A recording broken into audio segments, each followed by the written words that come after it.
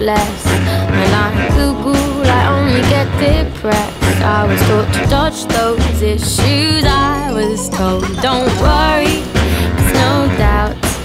There's always something to cry about. When you're stuck in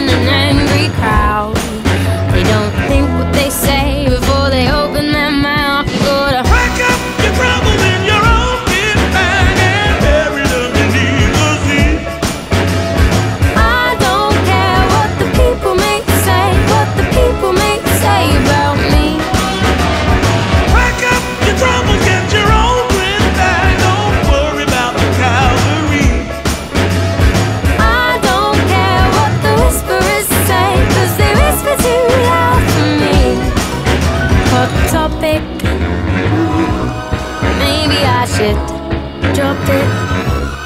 It's a touchy subject, and I like to tiptoe around the tiff going down. You got a penny